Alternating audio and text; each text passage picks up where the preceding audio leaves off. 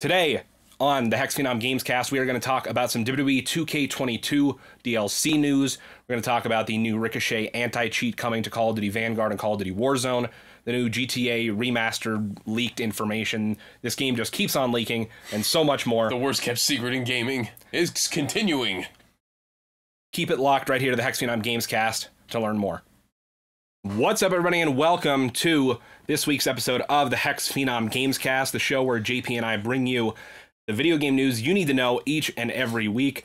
It goes live every Saturday on youtube.com slash hexxedphenom, on the new Hexxed Phenom Gamescast YouTube channel, and on podcast services around the globe. Still not Apple Podcasts for some reason. I don't know what the deal is. I was gonna say, what's up? Is Apple I've- doing it? I don't I don't know. I've resubmitted it three times now, and they don't even deny it. It just They don't they don't approve it at all. Like nothing. They don't do anything with it. Yeah, I think door. the problem might be that I don't know. The only thing I can think of is maybe they like have on their back end somewhere that I had two previous podcasts that I stopped posting to, and they might be punishing me for that in some weird way. I don't know if that's a thing that Apple does. If you guys know, Wow. please let me know. But like, I don't know what else to do. But it's on literally every other podcast service you could think of. And if it's not, then please let me know. and we'll get it um, on there. But yeah, Apple playing really hard to get for some reason, but that's okay. We love you, Apple. We'll be there soon. Apple, I, I bought the iPhone 13. I think you, I think I we think- can make a trade deal I, here. I think we could work something out. I think we can work something out. But uh, yeah, so that's where it goes live. I'm one of your hosts, Joshua Wojcik, aka Hexxed Phenom, and I am joined by my co-host once again, the Abstract Rocker, JP. JP, welcome back to the show. I know, right? It feels good to be back. Uh, I was on a working adventure for a week in Ohio, so as you can imagine, I I missed uh, I missed quite a few games that came out, but you bet your ass I've been playing Far Cry 5, and you bet your ass I've been playing Back for Blood. Far Cry 6. Oh, Far Cry 6, my bad. I'm totally totally getting caught up. It's probably because I tend to forget Far Cry 5 even exists because of how just shit it was. Oof, But shots we, fired. But, but we we got Shots we, we, fired. we got Far Cry 6, and I, I gotta say it it's my favorite was Far Cry 3, but I could already tell you. Far Cry 6 has already taken it. I It's talked about the game at length game. last week, so Yeah, I was gonna say uh, the, the game is just honestly perfect. I I don't know. Far Cry Five just isn't even a real Far Cry game to me. So, uh, New Dawn was really really cool. I enjoyed that a hell of a lot more. That made up for Far Cry Five. Besides Joseph Seed, that was the only good thing with that. But now we have one hell of a hostile game. Far Cry Six. Got Yara. Got the uh, amazing Gus Fring actor playing Giancarlo Esposito. Esposito. And um, yeah, other than that, Back for Blood, I, I'm really enjoying it. I mean, it would be Left for Dead 4, but obviously Valve is not involved. Wouldn't it be Left 4 Dead 3? No, they made a third Left 4 Dead. At least I thought they did. I don't think they did. Let, let's let's look into this. I was gonna say, I thought they did. Left 4 Dead. So that's why it was called Back for Blood. when you search Left 4 Dead 3, it literally pops up all Back- the sh- all the shopping stuff for Back for Blood. So what's the point of Back for Blood then? That's- Literally, Back for Blood gameplay and info. Left 4 Dead 3.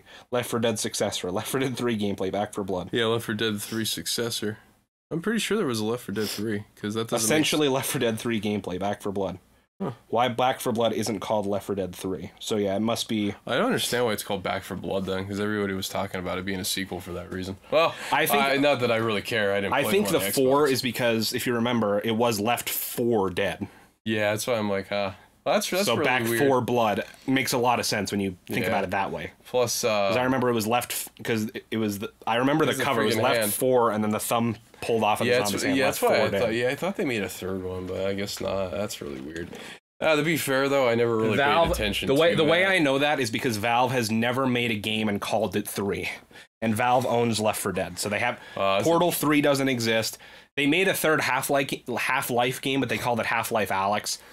There's no Portal Three. There's no Counter Strike Three. There's no nothing. Nothing ever goes three. Three. Valve hates trilogies. They hate them. Well, There's no Team Fortress Three. that Nothing. sucks. To be fair to me, though, I didn't really give a shit about Left 4 Dead.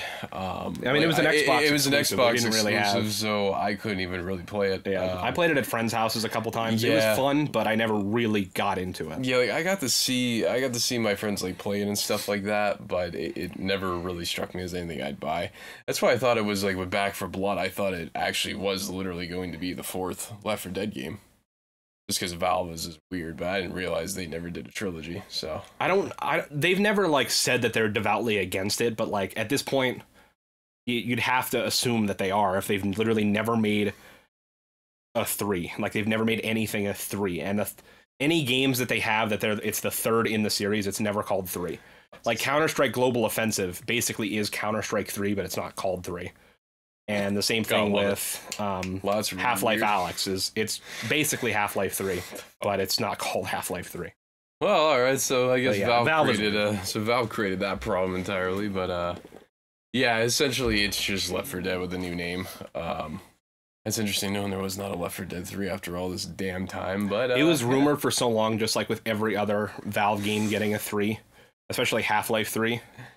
Yeah, I was gonna say um, that that's But, interesting, yeah. but yeah, I've been I've been playing Back for Blood, and I think it's I think it's amazing, and I finally have a reason to care about that franchise.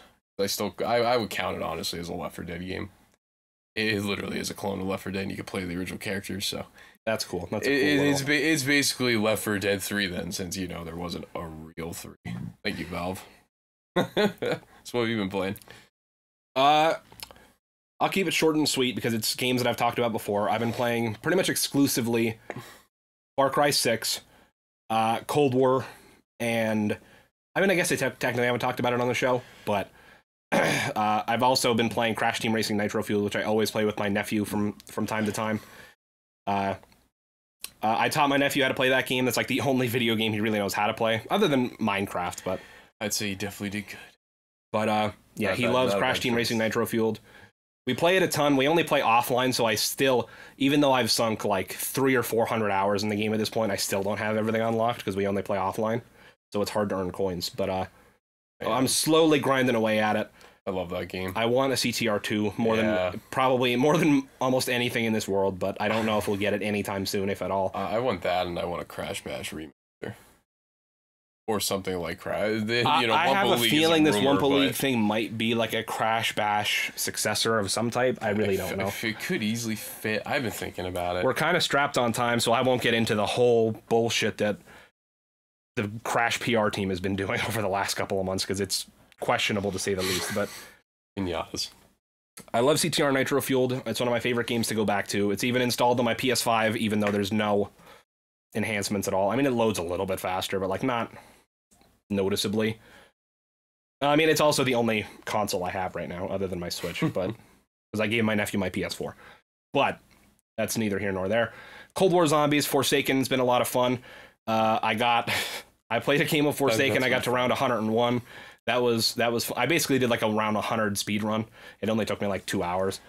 It was kind of Uh, boring, yeah, but I I was just like, eh. I, I like the map a lot. It's But just I like the overall map. It definitely is really easy. There's It a is- ton of rounding spots. Yeah, it's uh, And in it's- solo, they they'll they're I think they'll probably patch. Well, actually, I don't know. With how close we are to Vanguard, they might not even have time to patch it. But it's not a, it's not an exploit, but there is a really easy way to get to round 100 using the ray gun with PhD and Ring of Fire. There's this one room that you can sit in that it just makes all the zombies spawn super fucking fast, and you can just keep constantly re-upping your Ring of Fire and then going through with the ray gun. So that's that's a ton of fun. I've been grinding through some of the season challenges, all that stuff that I love to do, getting the camos on the new weapons, that stuff. And then Far Cry Six, I talked about it a lot last week, but I basically sit in the same place as I did last week. It's a ton of fun. I've been having a. This is my first Far Cry game, by the way. If you guys missed last week's episode, um, Oh yeah, it's a good time to get on Far Cry, man. but uh, the literally my only the only bad thing I have to say about the game is I am still not a big fan of the whole ammo system. Um, you guys can go back and check out last week's episode where I kind of dive deep into that. But uh, yeah, it's annoying having to constantly switch weapons uh, with through the pause screen to always have the ideal weapon for each situa- situation. It gets annoying having to pause the game every you know, especially when you're in bigger encounters where you're encountering all the different enemy types at once. It can get annoying, but I don't know. I'm still having a ton of fun regardless. So Oh yeah, man, definitely not a bad time. And um, I gotta say, Far Cry, I, I think they excelled in every way to the point where it definitely beats three without a doubt. Um, it took a lot of things and fundamentals for that to happen, but they knocked everything out of the park. And tell you the truth, I think now it's time to rebuild Far Cry 3 and the Far Cry 6 engine and put out that remaster that people will shit bricks over. But I would definitely play the shit out. of uh, I, I think it's time. It it definitely seems like they evolved to the point where it could probably easily happen. Um, I mean, they have Be the Villain, where you could be Vaas, you could be uh, Pagan, you could be Joseph. So, uh, yeah, that that's going to be just that. And since it's the best part of Far Cry 5, because I love shitting on that game so much, it's going to be amazing to see Joseph Seed become who he was before all the Montana crap happened. But yeah, so I'm very very excited. I I can't say enough good things about Far Cry Six. Um, I could probably sit here for hours and probably talk about it. It's a really damn big game. In fact, the map is probably five map times the size of the Grand Theft Auto Five. Huge. It is huge. Just when you, I'm like, oh yeah, I'm on the main map, and then I looked, I'm like, wow, I'm on this little torpy island in the bottom left corner. It's Wow. like, oh yeah, I'm- I've the game's finally opened up, and then you zoom out to the map, and there's and you're just- like, wow, yeah. And there's so like, many, Jesus. so many allies to get, so many bosses to fight, and they all make sense. Unlike Far Cry Five. But enough for me bashing Far Cry Five. I can go on with hours for that. But what kind of news stories we got going on? Well, I meant to do this at the beginning of the show, so I think what I'm going to do is I'm going to cut right here and put what I'm about to say at the beginning of the show. So sorry, little how the sausage is made right here. I'm going to clap so I know where this clip is.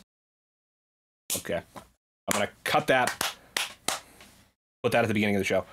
But yeah, so that's what we're going to talk about. So So hello, because. I know all of the WWE people are here for the WWE news. We'll get that out of the way real quick. Bad Rose over at Wrestling Attitude says recent talent releases ruined plans for WWE 2K22 DLC. the downfall continues before the game's even revealed. Amazing. And I'm not gonna lie, guys. This was this is a long this time was when I made the video months ago saying This is a long WWE time coming. 2K22 has a big problem. This is the kind of shit I was talking about.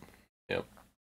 So, let's get into it. 2K Games is relaunching WWE's video game franchise with WWE 2K22 after taking a year off, but it hasn't been a smooth process. A new report from Mike Straw of Sports Gamers. Online noted that because WWE released several wrestlers over the past few months for budget cut reasons, it has hurt plans for WWE 2K22's DLC. It was said a minimum of four release superstars on August 6th were slated to be DLC for the upcoming game. Former Nor- NXT North American champion Bronson Reed was supposed to be the centerpiece of one of the DLC packages.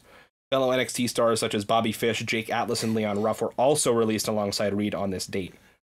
Also, at least two DLC packs were scrapped over the last four months because of the changes to the roster.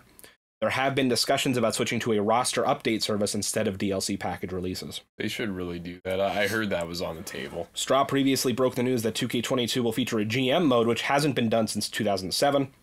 2K Games has noted in the past that more information about the game will start coming out in January before the release in March 2022. So, a lot that we can dig into on that, GP.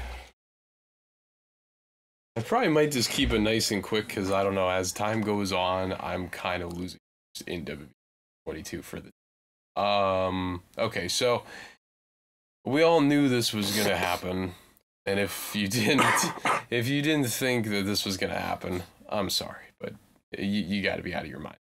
It's just the way the world is.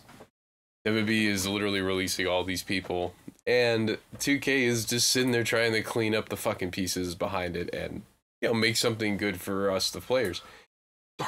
So uh darn. So as time goes on, it really makes you wonder, like we've always said, this game could literally be the greatest thing since sliced bread. But if there's no roster, what's the point of GM mode? What am I gonna manage? A roster of CAWs? That's not that's not gonna happen. Um so the free roster update I think would actually be great. That was uh, originally supposed to happen, if I recall. That was supposed to happen all the way back. I think it started in uh, SmackDown vs. Raw 2009. There was supposed Damn. to be free roster updates, and uh, That never happened, but it was in the game. And the funny part was, if you downloaded the for the roster update, it erased your whole entire roster. So, Oh. so that was Beautiful. amazing. Yeah, reset everybody back to whatever the hell they were on when the game launched, and that that was beautiful. Incredible. Incredible. Um, that was- out of 10. That was incredible. I, I avoided. A lot of my friends, unfortunately, got caught in that when Ted DiBiase, Evan Bourne, and like all the small ended DLC that they first started. That was the first game for DLC, by the way, too. That's going way back. But um, yeah. So uh, I think it'd be pretty cool if they salvaged that idea and actually made something really cool in terms of a patch update that would give you the roster update. Um, the problem is though, like I said before, GM mode's coming back, but if everybody's released by the time the game comes out, what the hell's the point in playing it? Yeah. You know, I mean, it could be the greatest game ever, but it's not going to deliver, and that that could be anyone's fault. It's not only 2K; it's just 2K's making the game, so 2K is going to get the fall for it, no matter what happens. As if the as if Ronnie 2K and other people go, yeah, you gotta, yeah, that, yeah, that Reed guy, oh, I gotta go. To be fair, I don't think Ronnie 2K Ronnie has 2K anything to do with been WWE. involved in WWE, but you know they'd be like, Ronnie at Ronnie 2K. Why is Bronson Reed not in this game? I wouldn't. I wouldn't be surprised if people tweet at him about stuff like that. But Ronnie, where the I've never the once. room I mean, granted, I don't follow him, but I've never once seen him interact with anything to do with WWE. So I don't even think he's involved with it. But big. whatever. Like, Ronnie, where the hell's my locker room? But yeah, so it's like kind of similar to what JP said. I mean, granted, like because of the type of content that my channel is mostly based around when it comes to the WWE Universe stuff, I kind of have no choice but to buy the game no matter how I feel about it. I'm so sorry. But I mean, I'm in a similar place to JP where like, yeah, like, yeah, great. Like, a couple months down the line, I'm sure almost every single release superstar will have a, a great call on community creations. But the problem with that is, is then you have to go through and download them, and not all of them have the move sets assigned, and not all of them have the right entrances assigned. So you have to go through and fix that. And no one's gonna have their actual like music and trons in the game that was released. So you're gonna have all generic bullshit for them. It's Yep. not the same as like actually having somebody in the game. Like you can get close by looks, but like and and move set, but you don't get the full deal, which sucks. Yep. And so that was one of the things I was worried about. But then also I was worried about how is this going to affect the rest of the game? Because now with every single release, they have to go delete those people, delete them from delete them from any sort of like menu images and you know delete their like any references to them in any of any of the modes any of the tutorial screens any of any loading screens in the my career like if they were in cutscenes even in the background even if they weren't the main focus of the cutscene they have to go through and re-record the cutscene or delete them from the cutscene if they were a major in. part yeah if they were a major part of a storyline like i'm sure probably the fiend was and probably braun strowman was they have to go through they have to get a new superstar to fill that slot they have to have that superstar come in and re-record those voice lines so that they can take that spot. They have to have the commentators come in and re-record voice lines for that match so that you don't have michael cole talking about the fiend while you're facing dolph ziggler.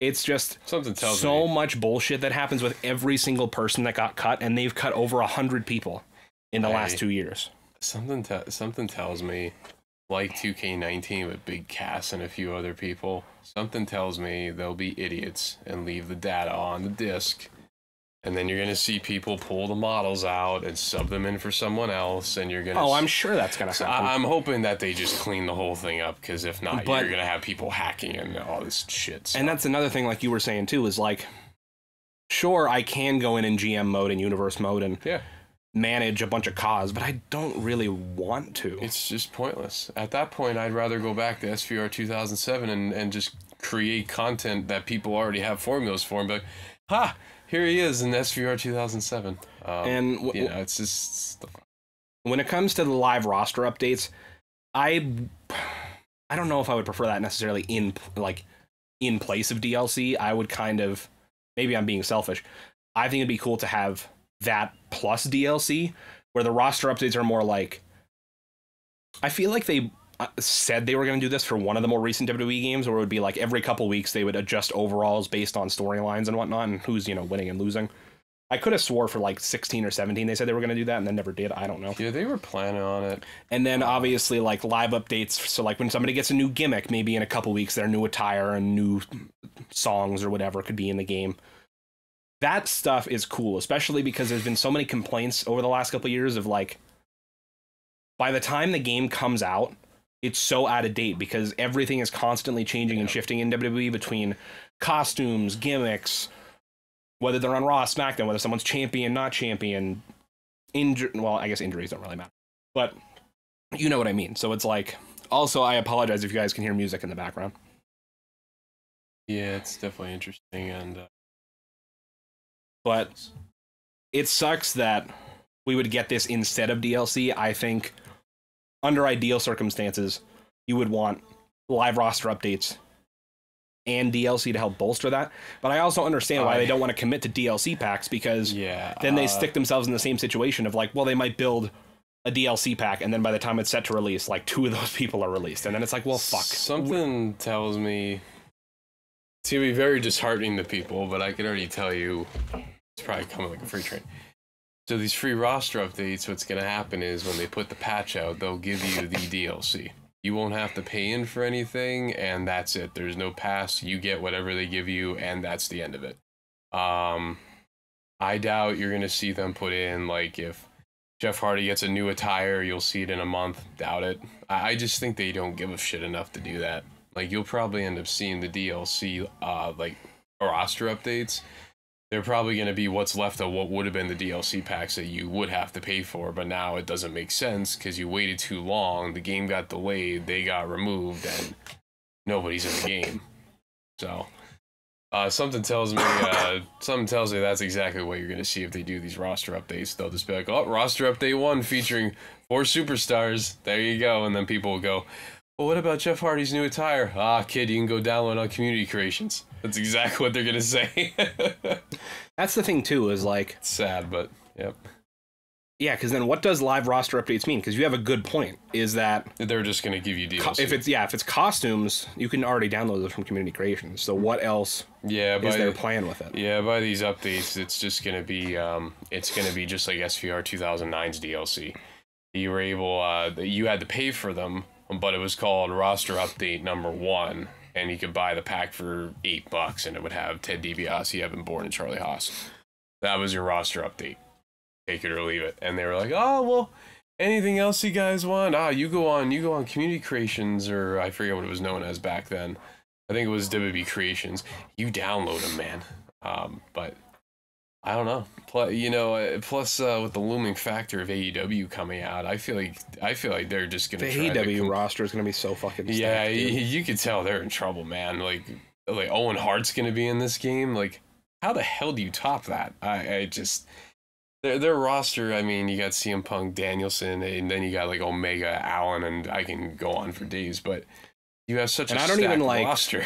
I'm not even that much of like an AEW fan. Like I barely watch their stuff. It's just like they have their roster is going to be stacked. Yeah, they they have it. Uh, This, this, like I said, man, I, I think Probably. matter how Sorry. good this game is, they're gonna just trample right over it immediately. That's basically how it's gonna go. probably probably like half the roster that was cut from 2K22 is going to end up in the AEW game. They might as well have just like sent over the fucking models to Yuke's and be like, "Aaron, you could fucking have them. We don't fucking need them anymore."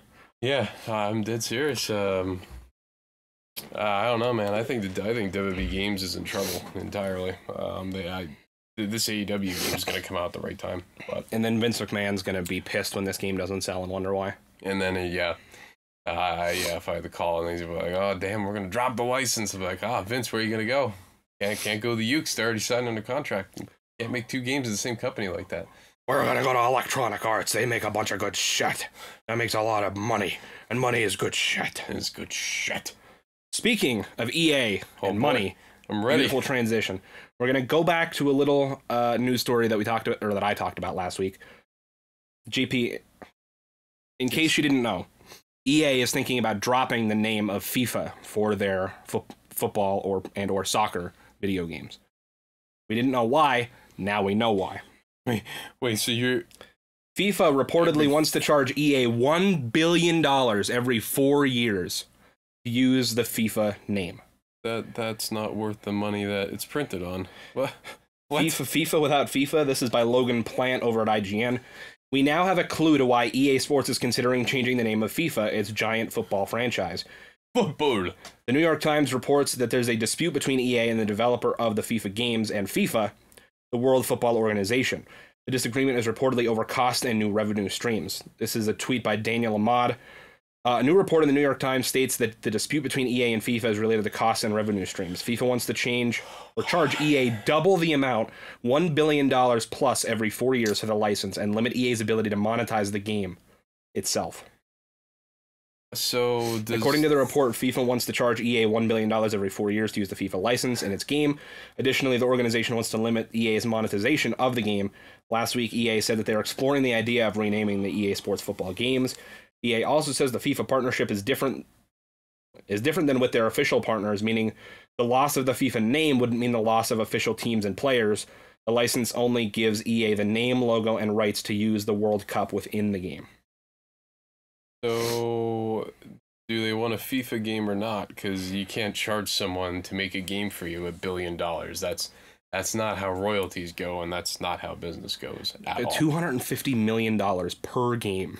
And like FIFA, Yeah. yes, makes a lot of money, but it's not. It is not, not. fucking worth that. It's not worth that shit. You could just you could just literally call it EA Sports Football 2023. That's exactly what they're gonna do. It's gonna be EA Sports Football Club or EA. Or It's not gonna be soccer. It's gonna be football because that's so so much more popular. EA Sports other Football regions. 23. It's gonna be like EA Sports Football or EA Sports Soccer or FC or something like that. But it doesn't really matter.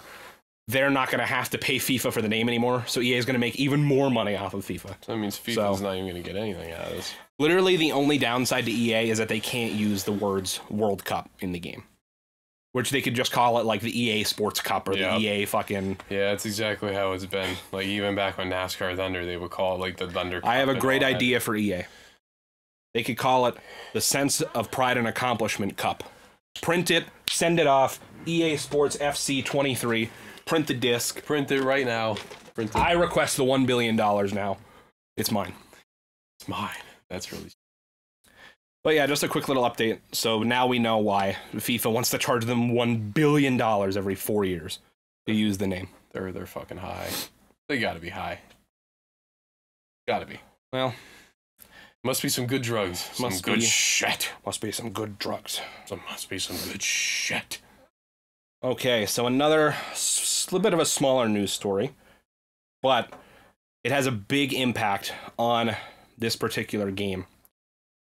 Marvel's Avengers starts selling XP boosters, angering players. This is by Michael McWhertor over at Polygon. Fans say the change goes against a pledge to only sell cosmetics.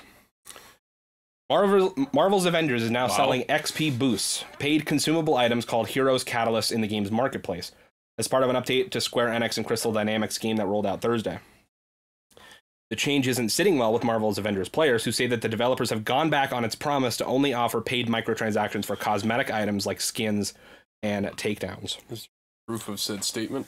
Yep, they said it on stage at E3. Oh, wow. Well, uh, Well, There's literally like the okay. biggest, like all right. most so public amount of proof that they've said this. all right. So why are they bullshitting then? That's They have yet. This Wow. happened on what the. October 8th, so literally a week ago, and they have yet to comment on it. So that's about how well it's going. The latest patch for Marvel's Avengers updated. Oh wait, I already said that. I love that. Uh, yeah, they said You can stage. purchase the consumables with a one-day duration for 100 credits, a three-day duration for 250, or seven-day duration for 500 credits.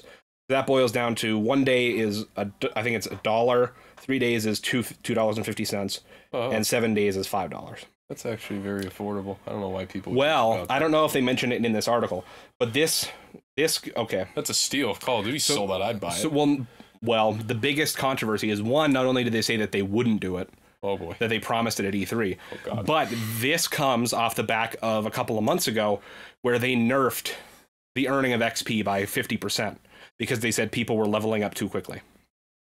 And keep in mind, this is a multiplayer game where every hero has separate levels, and there is now nine heroes in the game, and each hero can go up to level 50 and then keep leveling up past that to get extra like prestige points that you could put into a new champion skill tree. So everybody has 50 levels times nine heroes. I'm not great with math. That's 450 levels right there, I think. It's something like that. plus all the champion levels, and they said it, people were leveling up too quickly. That was a couple months ago, and now they're selling XP boosts in the store. After they promised they would only sell cosmetics. Wow, they are basically in modern terms they are fake as fuck. That that that's crazy. Yep. Um, that okay. That I, price is good, but knowing that they literally killed the average XP flow to sell knockoff XP boosts, ah, I don't. That that's that's kind of corrupt and fake as hell. and and this is all they also added it a, like a, I think four days after the game got added to Xbox Game Pass. So I'm not even reading off the article anymore, but basically a lot of fans think that they're just trying to get squeeze one last like string of money out of the game before they just send it off to die because it did not sell well. As far as I know, they still haven't made their money back on the game. And then on top of that, it's just not a good game. Like it's just straight up not a fun game to play. It's Ugh. repetitive as fuck. Every hero feels the exact same. And like I'm a Marvel fan. Like I am a Marvel fanboy. Like there is no reason that I should not like this game. And I hate yeah, I was gonna say uh, a lot of my Marvel friends are they're like this game is trash, and I'm like, wow, this is uh, this is pretty bad. I know how much you guys were looking forward to this game. It's just like all licensed games for the most part. It's absolute trash. Oh, there's a quote in the article from what they said was the reason that they nerfed XP months ago. Do you want to hear it? sure. Quote, let's, let's bury him. Why The not? problem we were seeing and hearing, which means that apparently fans were complaining about leveling up too much, JP, it was that you would immediately get more skill points that you had time than you had time to review, apply, and get used to before embarking on your next mission and gaining your next few levels, Crystal Dynamics said at the time. What kind of horseshit word salad is that? I don't know. Like I said, Who, I, who logs on a multiplayer game for the Um, first time and goes, I'm leveling up too fucking fast. This is bullshit. bullshit. I, I can't. I'm I'm fucking drowning in skill points here. You need to turn this down. Man, it feels like Call of Duty Ghost Day One. I got a thousand squad points and I don't know what to do with them. How I am so overwhelmed that my hero is getting more powerful. I can't deal with it. Like a fucking horse shit. That's absolute horseshit. I gotta admit, they're fake as fuck for that. Um, I could see if they didn't go out and say that or say that last quote. I basically just it, I'm just looking at them six feet underground, just with dirt being piled on them every time there's a thing. Oh, no microtransactions. Oh, leveling up too fast. Oh, oh game's dead. oh, it's buried. Honestly, I think uh and like I don't even mind like the cosmetics and like having to supplement the game that way because all of the DLC content updates have been free. Which I mean nowadays for a multiplayer game you kind of have to do that so you don't split the player base. So this is like bare minimum stuff. But I understand having to supplement the game with microtransactions. So the cosmetics and stuff even though I think they're horribly overpriced the way they are, great whatever. I bought I, I bought a couple, sure. I think it's funny knowing that there's XP boosters that just X- curve it back to the XP XP boost. flow that they had before. when they nerfed nerfed the XP a few months ago, and on top of that, they said before the game came out we would never charge for anything other than cosmetics.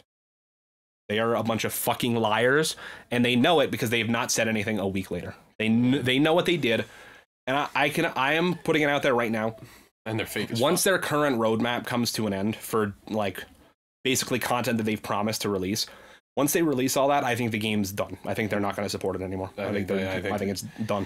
I think they're walking away from the table. I think Spider Man is going to be the last character for the game. He'll be a PlayStation exclusive. He'll get a couple of story missions. And then I don't remember if that's the end of the roadmap. They said they'll release a raid at some point.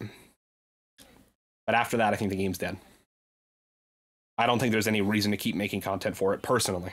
I just think they uh they fucked themselves. And I didn't even fuck, hate so. the game that yeah. bad before this, but I'm I'm done with it now. Speaking of horseshit dumb decisions, in my opinion, this one has been slightly more well received than the Marvel's Avengers stuff. Nintendo Switch Online Plus expansion pack subscription launches October 25th, costs $50 a year.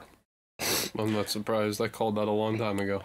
Well, so this is just for just for background. The current Switch Online is twenty dollars a year.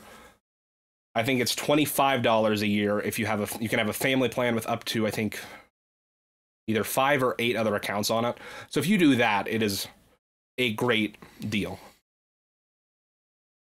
I don't think, that, but if you're if you're by yourself, twenty dollars a year is a horrible deal for this because you have to pay to play online, obviously, but all you get in return for that twenty dollars, other than playing online, is you get a selection of NES and SNES games for free on these two apps that you have to download onto your Switch. And there's pretty good games on there. Like there's a I don't know about how many.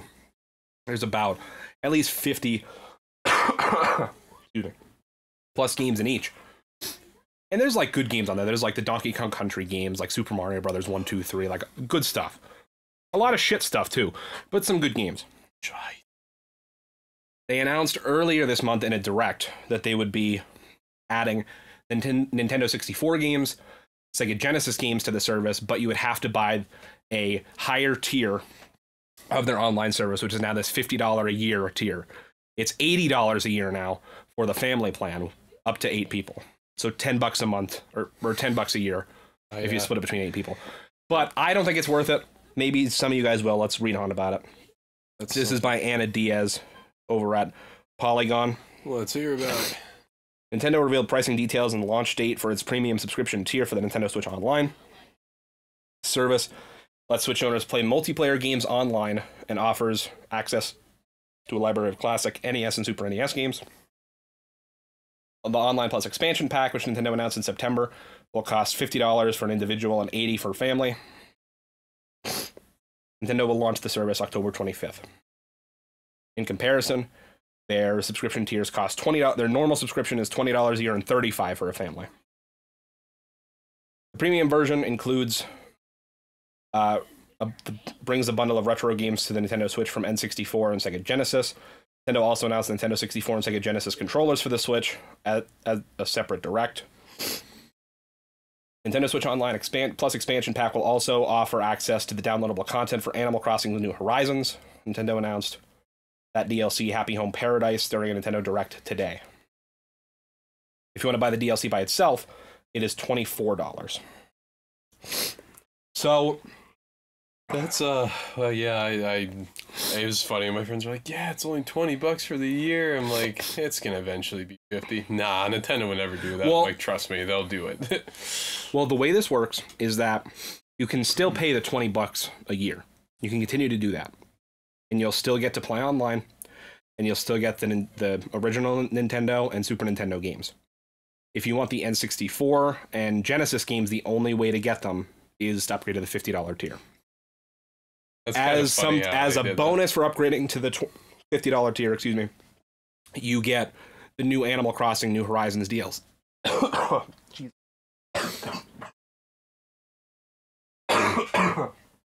Ugh. I'm sure you could definitely edit that out. Jesus. Woo! I think I'm alright. You also get the Animal Crossing New Horizons DLC for free. The DLC itself is 25 bucks. So if you were gonna buy the DLC, I guess this justifies itself for a year. But if you're not playing Animal Crossing or not interested in the DLC, your only reason for spending 30 extra dollars a year is for some N64 games and some Sega Genesis games. And personally, like, I understand people have a lot of nostalgia for the N64. I get it. I never owned one. I don't have any nostalgia for it. Sega Genesis, I did own one, but the only games I had for it were the Sonic games, so those are the only games I have any nostalgia for. But even then, I'm not going to pay 30 additional dollars to play Sonic 1, 2, and 3, which I've played how many times oh yeah. on this. Like, I'm not going to pay $30 to play it on the Switch, or I'm not going to pay $30 to play Mario Kart 64 on the Switch. I'd rather play Mario Kart 8, personally. Right. Yeah. But I don't blame you. And so it's like this tier is directed at a very, very specific audience.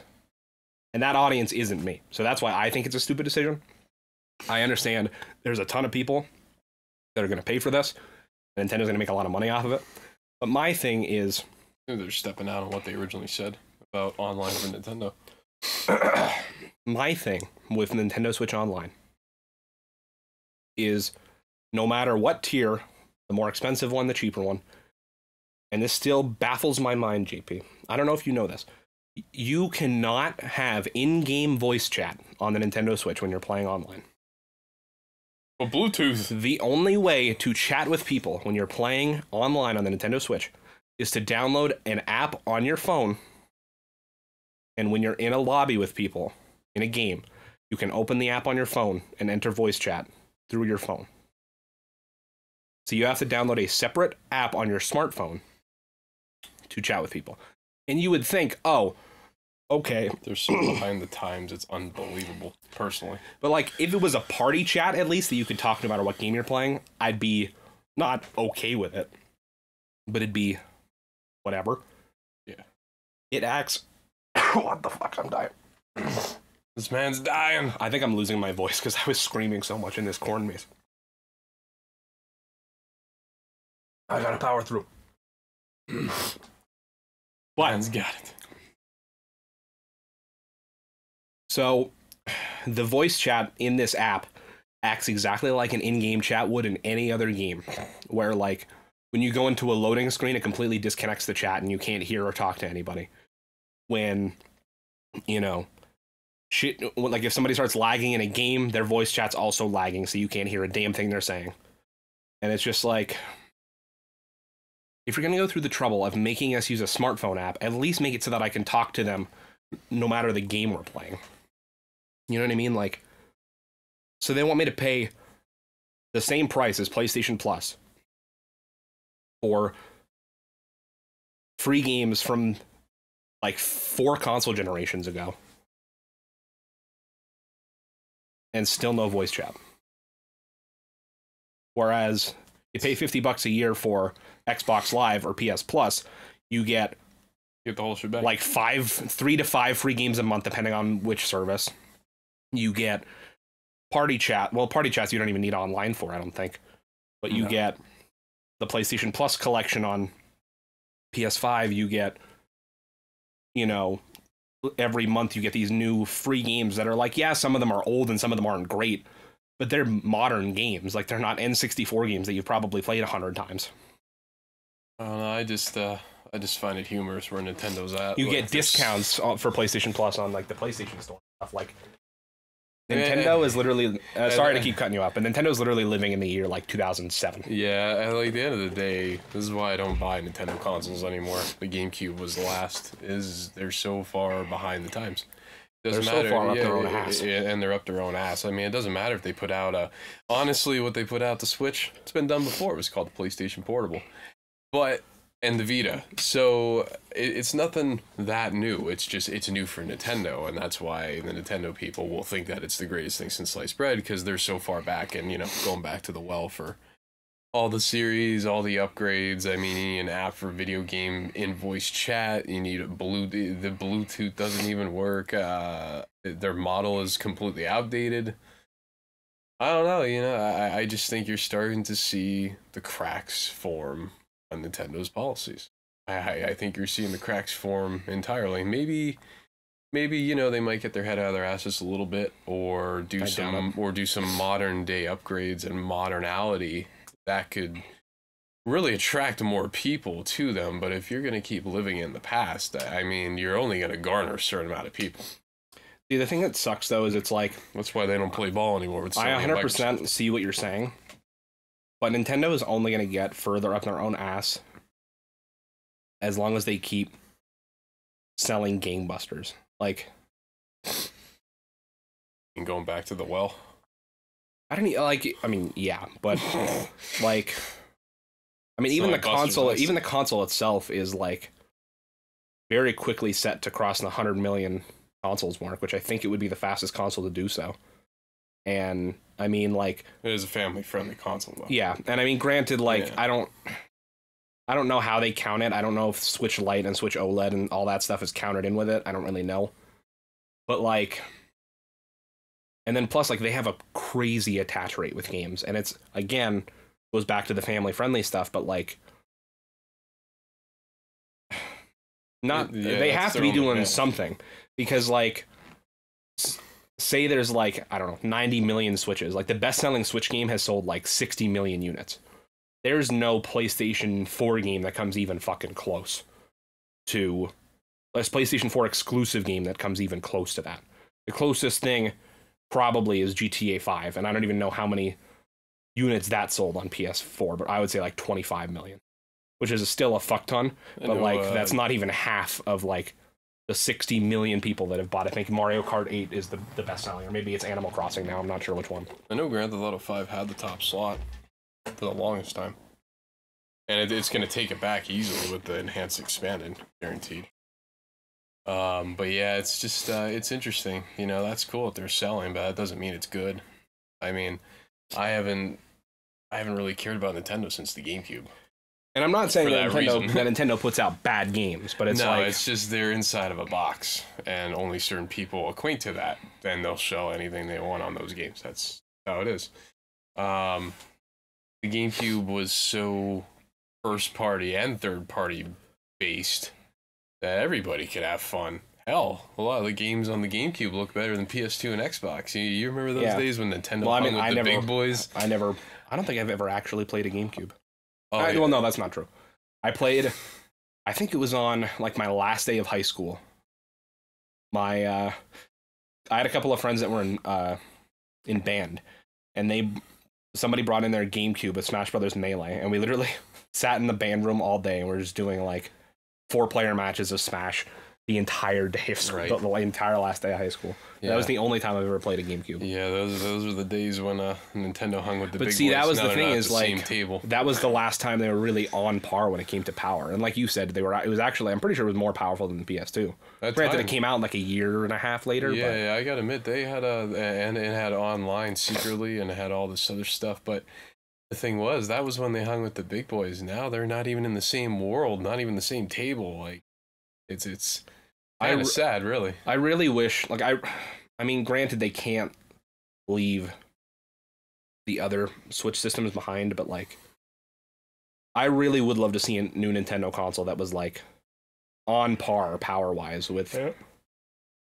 the modern day consoles, and I really don't know if we'll ever see that again because It it's happen. it's obvious that the next Nintendo console is going to be maybe not called Switch 2, but it's going to be a similar thing to the Switch. without a doubt. I'm sure they already had it drafted when the Switch came out. Sure, I'm still surprised we haven't gotten a Switch Pro that's somewhat more powerful. But Right. Yes, it, it should be interesting. But yeah, that model's garbage entirely with pricing and all. But yeah, okay, moving on. oh boy. And the industry's worst kept secret keeps getting leaked even after it's announced. Leaker claims GTA remasters look the same with minimal changes. This is by Sam Comrie over at Dexerto.com. I don't know if I said Is that that the right. article that I randomly sent you? Yeah. Oh, okay. I was gonna say it. Intro, I believe. I'm not surprised this is how it turned out either. After once, honestly, once I found out it's on last gen Switch and mobile, I'm like, there's no hope for this. Even last gen, like, last could've- maybe, could have held up pretty well, but Yeah. Switch and mobile, I was like, oh shit. So as soon as they uh, fuck. Switch and mobile, I'm like, this is it's fucked. It's- Granted, it's like. Unreal Engine is really good at scaling up and scaling down, but like for the most part, it's not really worth it to do that. Even if it, even if the engine has the ability to do it. Granted, Rockstar loves money, so of course they're going to release it on as many fucking things as possible. But Yep. this should have clued people into the fact that it wasn't going to be the anything crazy. remasters they want. GTA fans are cautiously waiting for the first look at the remastered GTA trilogy. Rockstar Games promised to deliver, quote, graphical improvements and modern gameplay enhancements to these classic titles. Fans may need to temper their expectations, however. Remasters are the next big trend, it seems. and they didn't do it. Rockstar Games are following the steps of Demon's Souls, Alan Wake, and others with their definitive edition of the original GTA trilogy. Collecting GTA 3, Vice City, and the gold standard, San Andreas, together in a polished package, and the remastered versions are set to potentially debut in December. The notion of a revamped trio is enticing, especially for longtime fans, but it seems the fans may need to temper their expectations when it comes to just how notable these changes will be. Oh god, here it comes. Leaker claims it will look the same. It's widely known at this point that Rockstar's Dundee Studios brought the original renderware made games into Unreal 4. Due to how old the original games are, reworking them in the original engine simply couldn't be done. So, how fresh and modern are they? According to the supposed leaker, the upcoming remasters will largely look the same with slight enhancements to faces, better animations, and better lighting overall. This might be disappointing to some who are looking for a, something more akin to the realism of GTA 5 or Red Dead 2. That's all they had to do. Yep. Nevertheless, the leaker also claims that enhancements to the now dated shooting mechanics have been implemented to have a more GTA 4 or 5 feel.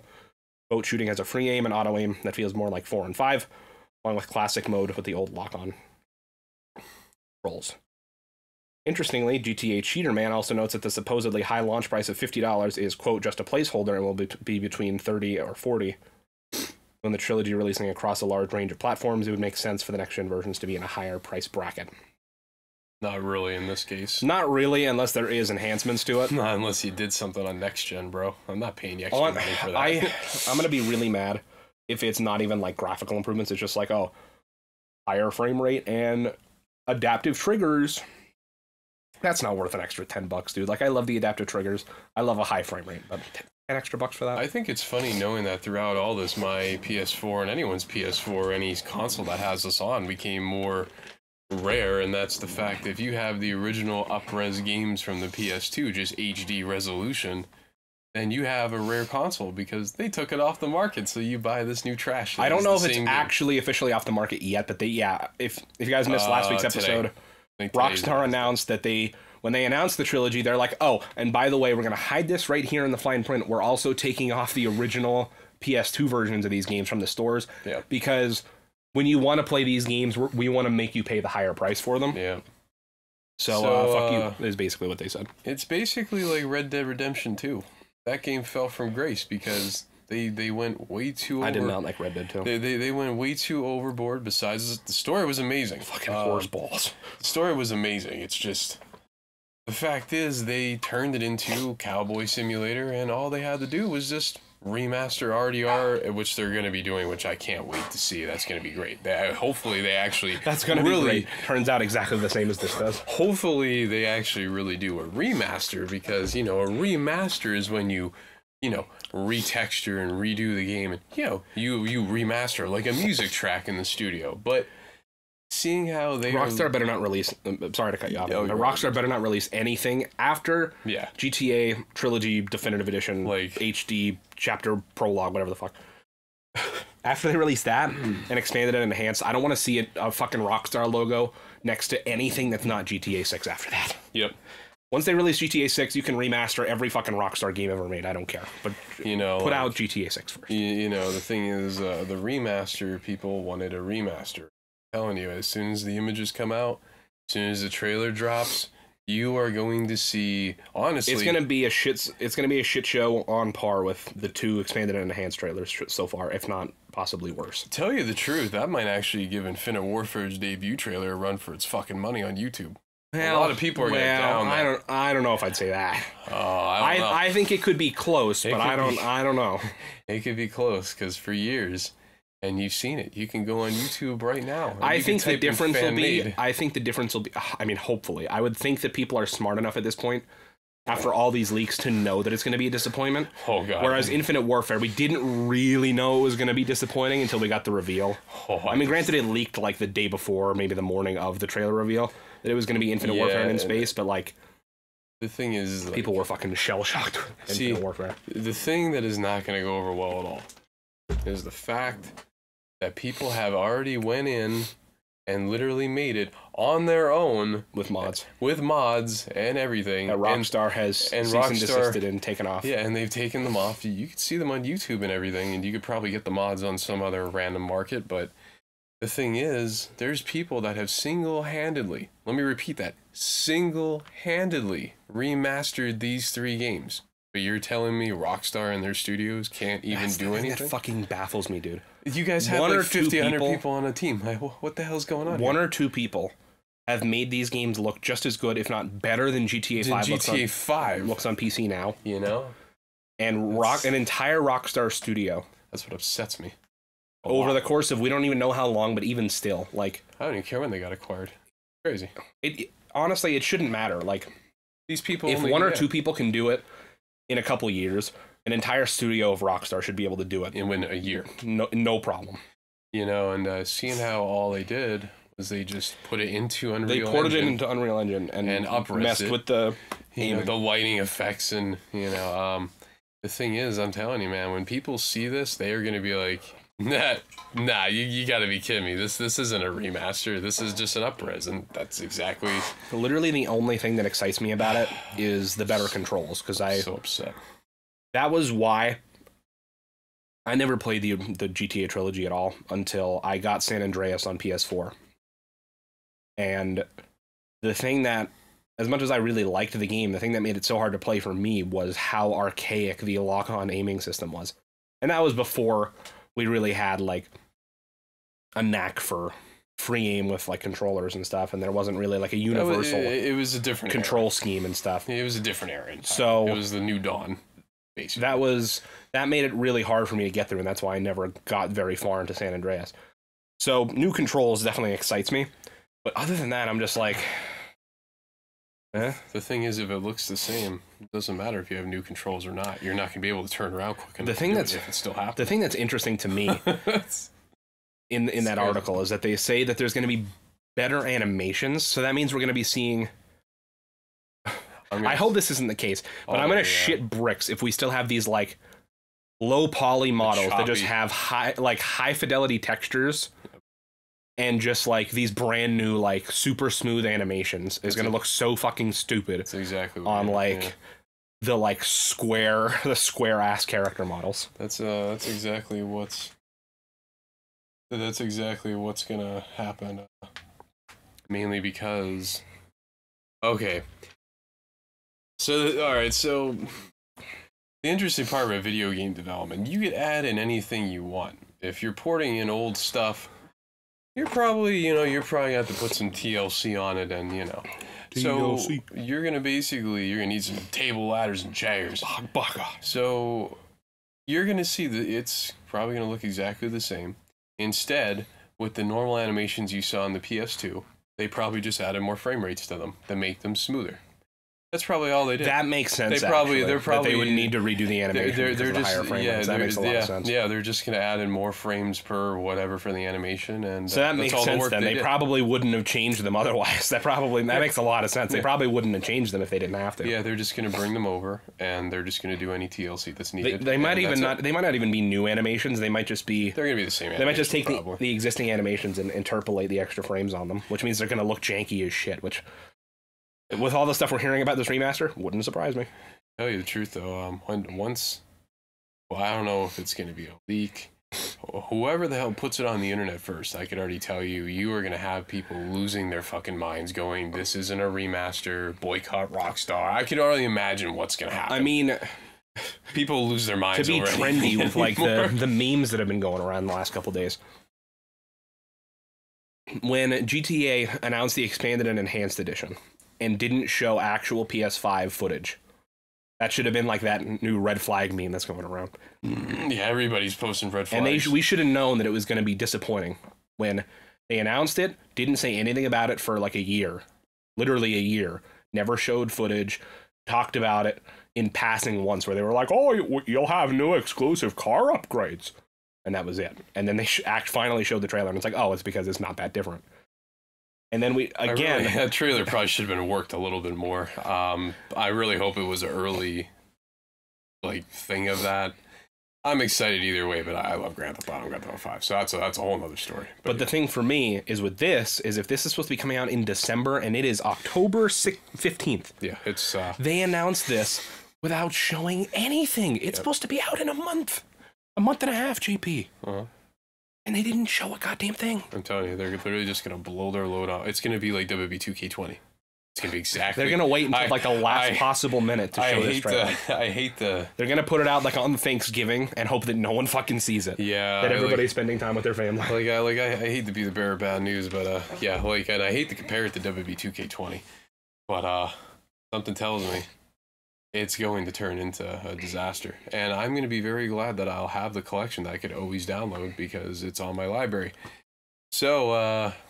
Oh, at the time you watch this, you won't be able to get it anyway. It's gonna be on Saturday, and today, Friday, is the last uh, day on the store at midnight. That really sucks.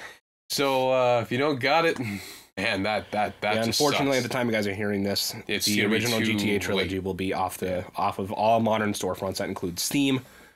That's PS, you know, all all the places. I don't even know where it exists right now, but probably your only bet at this point would be maybe if you can snag a code on like G2A or websites like that. Uh, But yeah, I'd say uh, even then, like risky business. it's kind of funny knowing that I could see people within like the next week. Sorry to keep cutting you off, but I could see people within the next week like scalping their PS4s. Like, oh, we have I have the original GTA trilogy on Just here, like- just like six thousand dollars. just just like when PT. Yeah, PT. Uh, yeah, uh, yeah. But it's just um, it's it's sad.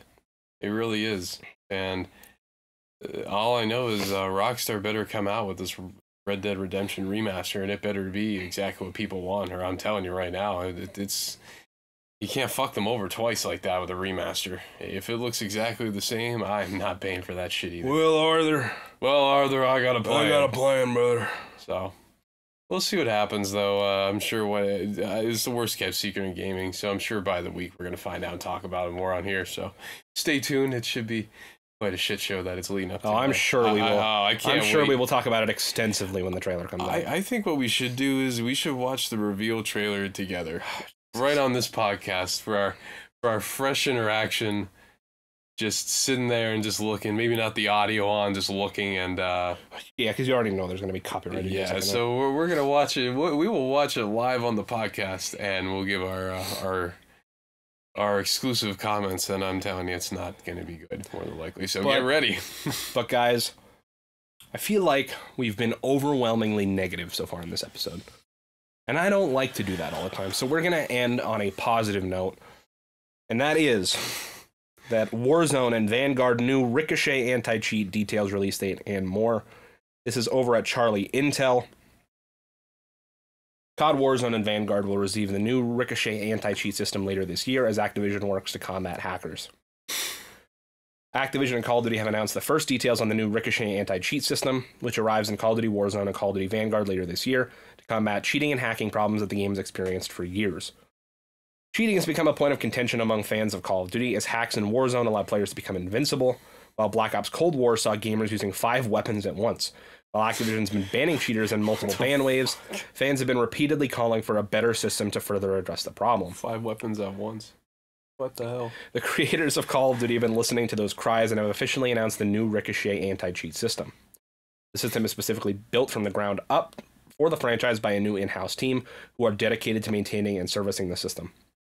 Ricochet anti cheat features two separate aspects a new back end based update to provide better infrastructure and security, and a PC kernel driver system to directly detect hackers. Before I keep reading the article, could we just talk about how cool the name Ricochet is for an anti cheat Yeah, for for, Call of for, Duty? for bullets ricocheting. I think it's uh, I think it's really cool. Um, I think it's coming way too damn late, but Oh, 100%. fi- but five 100%. But five. See, the thing that I don't get is, does it really matter if you have five weapons in a Call of Duty game? You're only going to use one before you die, more than likely. I mean, is it really that unfair? With- I, I can't even balance two weapons, let alone five. I, I don't particularly remember ever seeing a video of it, that is but mind blowing. I've se- definitely seen like aimbot and wall hacks. I've seen I've in- seen in aimbot War, and so stuff. I'm just like five weapons. You need five weapons. I think they just said that just because it's like a it's a funny thing and it's just so dumb. It's just like what? You just imagine it'd be like It's like it's like, sir, how do you have all these weapons? Was that a bazooka? What do you mean? Call of Duty's new Ricochet anti cheat system delivers server level enhancements to provide better backend security and protection against hackers. It'll be available when Vanguard launches on November 5th. Why the fuck did it just move where I was on the page? And arrives with Warzone specific map later this year. In a blog post from Call of Duty, the company states that the Ricochet anti cheat is a multifaceted approach to combat cheating, with the system's new server side tools able to monitor analytics to identify cheating. So essentially, like in the back end, it'll be like, oh, this person is, you know, like if basically if your stats are are suspicious, it's gonna flag you for possibly cheating and investigate you further. So if you have too high of a headshot percentage or too high of a KD or too many kills within like too many high kill games or you know Oh, your yeah. accuracy is like 100 and 100% and like stuff like that. I can't wait to see how many people bitch when they get banned. I Oh, people I- bitch all the time that they get banned. it's gonna be incredible. I, I I- can't wait. It's gonna be cool. Just drinking their tears. Well, see, the thing is now, right now, and I mean, recently, I think they changed it to starting to do IP bans, but for a while they were just doing account bans. So that same person could literally, in Understand. ten minutes, log out, make a new Blizzard account, start up Warzone again, and start cheating. So it's just like, So now the IP's banned or the console. Might Yeah. come to the point the console gets and that has nothing to do with the anti-cheat. That's like they recently started doing IP bans when they do I- uh, ban waves, probably in preparation for this. But I, I cannot wait. It's gonna be amazing to see all these people bitch drinking their tears. You know, it's gonna be cool. On top of the server side tools, the Ricochet anti cheat also features a PC kernel level driver that will arrive in Warzone later this year, with release on Vanguard to come at a later date. The first of its kind in the Call of Duty franchise, the kernel level driver will assist in the identification of cheaters, reinforcing and strengthening the overall server security. By checking, quote, software and applications that attempt to interact and manipulate Warzone, providing the security team more data to boost security. While the driver itself is only available on PC, Activision says that console players will have who have crossplay enabled will benefit by extension. Activision has confirmed that the kernel level driver will be required to play Warzone once it becomes available later this year. Players on PC will be unable to play Warzone if they don't have it installed. Activision's also provided more information on the kernel level aspect. Here are the key points. Ricochet anti cheat kernel level driver operates only while playing Warzone on PC. Anti cheats drivers are not always on. Ricochet driver monitors the software and applications that interact with Warzone. When you shut down Warzone, the driver turns off. Uh, it's kind of sad people have to be that horrible at games that they have to cheat. Um, I just think it's funny. I really do. I mean, it's not even about fun anymore. Like people are just serious. Like? That's the thing is it's Like, like, how do you fake. even have fun when you're yeah. when you can just lock onto people's heads through walls? Like I don't understand yeah, how I, it's I fun. understand that. Like back in the day, like hacking PS2 codes and all to like unlock extra stuff Yeah, and like have hacking fun and stuff to, like, the game and Mod the game or hacking stuff to like get unused content unused content in a single player game is fun. fun. But like if you're hacking in multiplayer to aimbot people and just ruin people's and- shit, it's you're first of all you're an asshole. Second of all, nobody likes you. Third of all, fuck off. Fourth of all, Yeah, it's just uh, you're horrible. Yeah, you're fake as fuck. You're horrible at games, and I don't know why the hell even people do that. Shit. Like I would much Really. I would have much more fun getting my absolute shit kicked in by like a team of Call of Duty wannabe like pro players than I would have sitting and being able to lock on everyone's head through walls and just sitting there and fucking spraying over and over again. Like I don't I don't get it. I don't get it. But hey, hey, if uh, if if you want to do it, you're gonna get fucked completely, and uh, I I can't wait. It's gonna be revolutionary knowing that COD has anti cheat. Should have been way sooner, but Oh, 100%. This It, at should least it's happening. let's be real. Like as positive as we're being on this, also this should have been a thing as when Yeah. Warzone launched. Like this should have came yeah, with this, this Warzone's should have launch. came with 18 months ago. Yeah, yeah, or during lockdown. Yeah. Well, Warzone launched as soon as lockdown started. Yep. It was March. I don't remember the day. But it was. I'm pretty sure it was March 2020. Yeah, But- so hey, it should be interesting. But Uh, positive news. Just to kind of finish off the article here, uh, it also says that the team. Wait, wait, hang on. The company states the backend servers also have a system with machine learning software, which will use algorithms to examine gameplay data from the server, helping to identify suspicious behavioral trends and add another layer of security. Man, they're screwed. This is gonna be great to see everyone going off. And then just to Can't wait. end it off, gonna be great. Activision confirmed that Ricochet's anti-cheat server enhancements will be included when Vanguard launches on Friday, November 5th, and will be added to Warzone as part of the Pacific map update later this year. So December. Yeah, so probably when season one launches in December. Man, that's gonna be uh, that's gonna be cool though, just to see like hackers just getting pissed. I can already see the YouTube videos going up. I'm just I'm ready just to see people get pissed because they're cheating. And if you're cheating and being fake as fuck, I mean, you're gonna get found out. I mean, it doesn't have to be social media. It could be on a game in this case, but you you'll get found out. And I mean- banned. When this thing, I mean, I don't know how they're going to handle these bans, but I mean, it's possible that when it first launches, there will be some bans that are not justified, like some unfair bans. But I mean, that kind of always happens with anti cheat systems. Like, every now and then you'll have like a game that for some reason is just like, oh, and this has nothing to do with Call of Duty, but like I've heard stories of like, oh, sometimes like Valorant will think that like Spotify is a cheating app for some reason, and it'll like ban you. And it's just like Sure, you're cheating. You're stuff like that. Like usually that stuff gets fixed when they go through community you're support, and it's Guns annoying. But like, can't be doing that.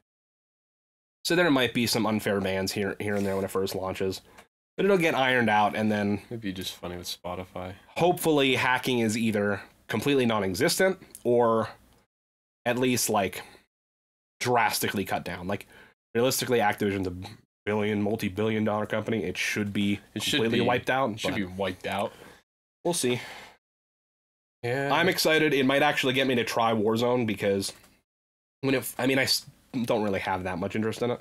I don't really like battle royales, but yeah, I'm not into that either. especially when I started hearing about how bad the hacking situation was, I was like, well, even I don't even have a drive to try to play it because if I'm gonna get just murked by some dude across the map that can lock onto my head, I'm not even gonna attempt to play because what's the point in playing a match for 20 minutes, looting up, getting kills, moving around the circle, yeah, whatever, whatever, just to get to the final four and get like sniped through like six buildings yeah. because some guy can lock onto my head You know, through walls and shit. yeah, it's just ridiculous. So hey, they're gonna get what they deserve, and uh, that's that's just how it's gonna go. It's kind of just funny how it took them this long to do that. That is Like- definitely the sad thing. I mean, like Like PS2 games had anti-cheat. what they should have done and what they should have done and what I think any multiplayer game should do in the future that plans to not even battle royale just any multiplayer game should what should happen is if even if you plan on making your own anti-cheat license one out from an existing like company first and have that run in your game while you develop your in-house anti-cheat and then eventually you can swap them over Yep. because the fact that this ran rampant for how many months 18 months almost is fucked. Like it's it's fucked. The fact that this was going on for how long in keep in mind probably the biggest or one of the top three biggest like most earning publishers in the games industry. A multi-billion dollar company and it took them 18 months to do this. It didn't take them 18 months to shred documents relating to their lawsuit but that's neither here nor there. We won't get into that. We won't get Yep.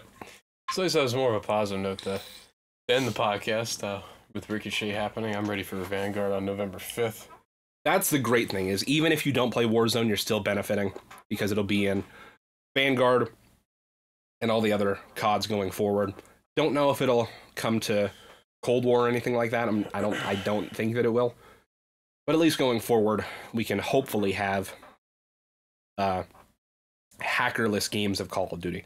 And I read somewhere, Yeah. I didn't say that in the article, but I'm pretty sure I heard somewhere that um, if the system flags you as a hacker, it might not instantly ban you, but it might do a thing where it only lets you matchmake with other potential hackers. Like Grand Theft Auto when Yeah. you got put in the bad sport lobby. So that'll be really interesting to see a whole lobby of 150 fucking hackers just locking on to everybody's head. Can you imagine 100 people? I'm going to win. Nah. Why? Because I'm in God mode. I'm in God mode too. Well, one of us is going to win. One of us is going to like lose, boy. it's like jokes on you. We can't. None of them can actually kill each other because they all have God mode or not. Yeah, uh, I think it's going to be absolutely hilarious. Yeah, hackers are going down, man. I can't even believe it still exists in video games like the way it does. It's disgusting, really. It's It's honestly gotten question. easier it's gotten easier depending too. on the game, but Crazy. But guys, that is this week's episode of the Hexxed Phenom Gamescast. It was negative at the start, but we had one last positive story to try to even things out. Yep. And uh yeah, still haven't come up with a Still, new still outro. working on that outro. Still working on it. See, JP, I used all of my creative juices. I put every single creative fiber in my body into another one bites the crust. That that was a really And- damn good. Uh, that was a damn good saying. Really was. And I just I used up all my creative juice on that and now it's just gone forever. Don't you worry. I think it'll come back one of these episodes. See, it was it was it was so perfect for what that show was meant to be as a as a pizza and gaming podcast. But uh yeah, could always come back if you want to do streaming or something. Maybe if you're doing Twitch, easily do something like that. maybe I don't know, we'll see. But Yeah, it's I always something to think about.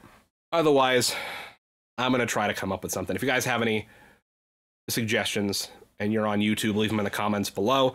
Or if you're listening on audio services, hit me up on Twitter, Instagram. Uh, G- give me some ideas because I, like I said, I used all my creative juices and another one bites the crust, and I just I got nothing.